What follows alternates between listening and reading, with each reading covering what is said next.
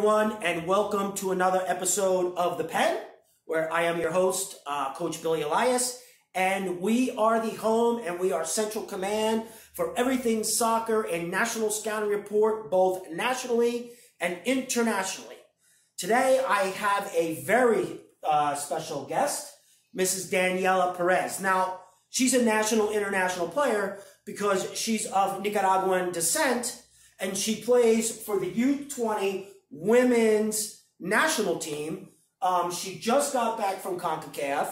Um, I saw you'll see some videos. She played Puerto Rico and several others, and she was all heading to the U20 Women's World Cup in Mexico, obviously before the virus outbreak.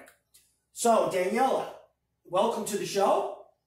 Thank you for having me. Um, you're welcome. It is a pleasure to have you. Now, I will say that you are the most accomplished player um, that has ever been on the pen. Um, we've had players that have played internationally, of course, but none that have ever represented their country in a World Cup or in a massive tournament like CONCACAF. So why don't you explain to me a little bit? Tell me about the experience of CONCACAF.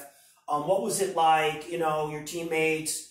Um, just just give me a brief overview of what it was like to play at CONCACAF and how you guys did.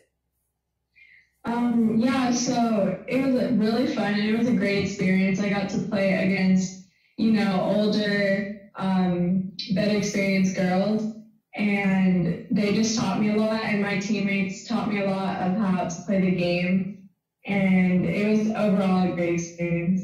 Now, what teams did you play when you were at, at the CONCACAF? We played Mexico, Puerto Rico, and Guyana, I'm pretty sure. Okay. And how did you guys make out?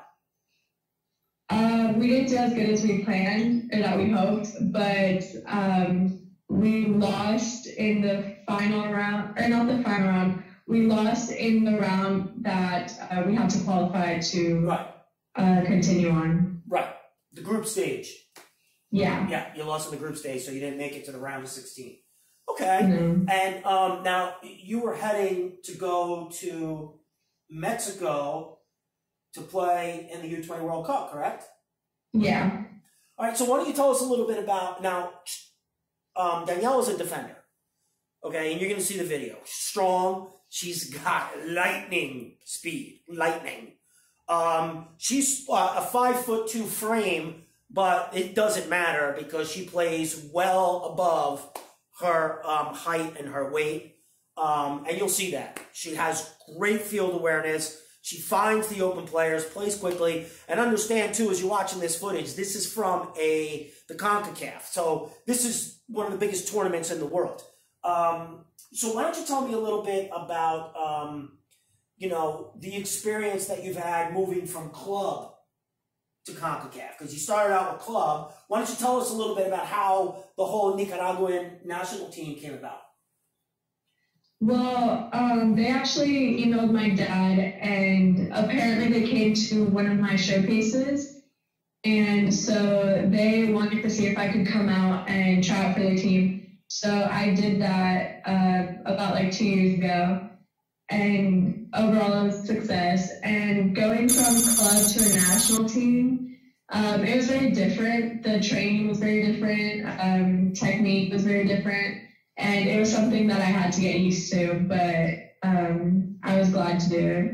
You know, and I think that's something that a lot of people take for granted is the difference mm-hmm. between club and anything after club.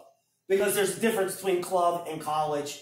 There's going to be a difference mm-hmm. between club, a club, and like um, a national academy. And I'm not talking about like DAs. I'm talking about like MLS academies or something like that. But in your particular case, you know, I don't think people understand that to compete on these different levels, the training and the things you're learning have to be so accelerated. And you have to have mm-hmm. such a good knowledge base before you can even hope to compete at those levels. All right. So awesome. So what we're going to do is we're going to take uh, a little bit. We're going to look at some of your clips. We're going to go right to the video tape. And when we come out, we're going to just talk to you about, you know, grades, college, and what your aspirations are. Okay. All right. Let's take a look at Danielle in action.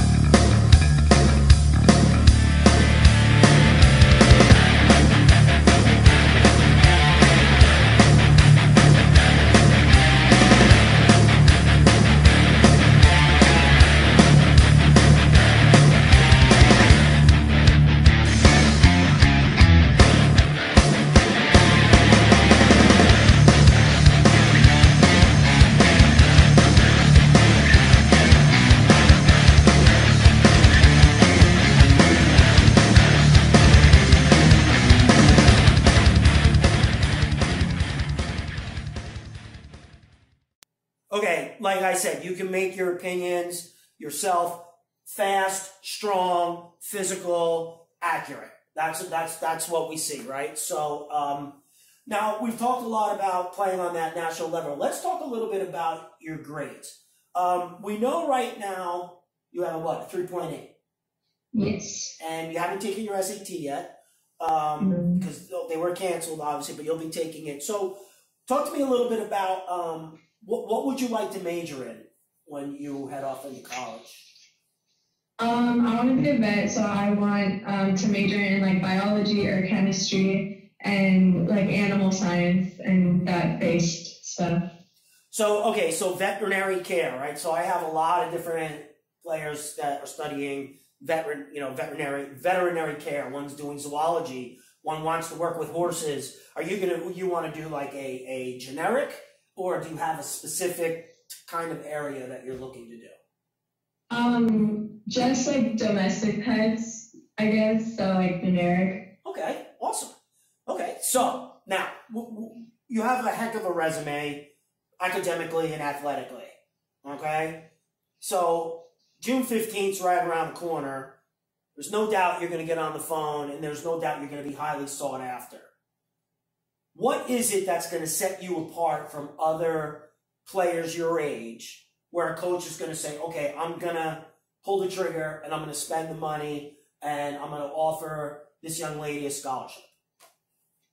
Um, I guess just my like want to play soccer and like um, how hard I work for things. And if there's something that I need to improve on, I will do like whatever it takes to improve on it um, to become a better player overall. Okay. Awesome. So, I mean, yeah, there you go. There you have it. So, um, once again, Daniela, thank you so much. This is like the fifth attempt at trying to get yeah. this sorted. Uh, so we, we reverted to using Facebook Messenger. Okay, so um, it just and nothing else we tried was working. But I am thrilled that we got you on the show. I'm so excited to watch you as you grow and you progress. Um, so thank you once again for being on the show, sweetheart. Yeah, um, thank you for having me. Of course, of course. Um, and as always, thanks for tuning in. God bless, stay frosty, and Semper Fidelis.